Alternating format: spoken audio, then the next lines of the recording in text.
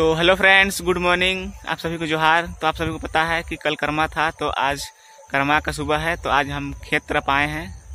और कर्मा के दूसरे दिन खेत तरफ़ जाना खासकर ज़रूरी होता है।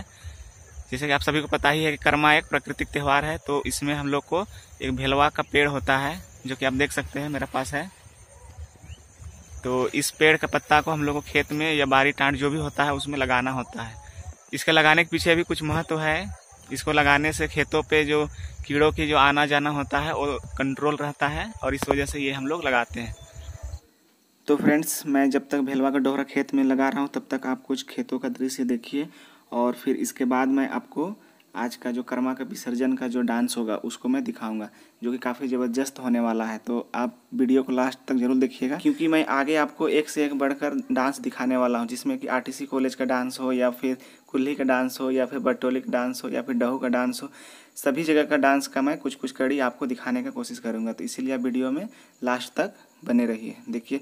और जो लास्ट वाला जो डांस है, वो खतरनाक होने वाला है तो इसीलिए आप वीडियो को लास्ट तक ज़रूर देखिएगा।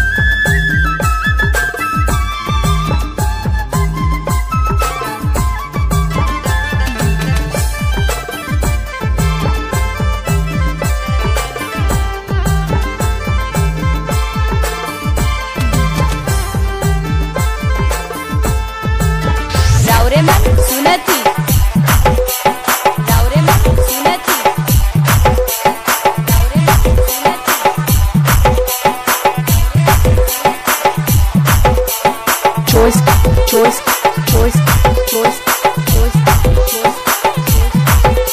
exclusive, exclusive, exclusive.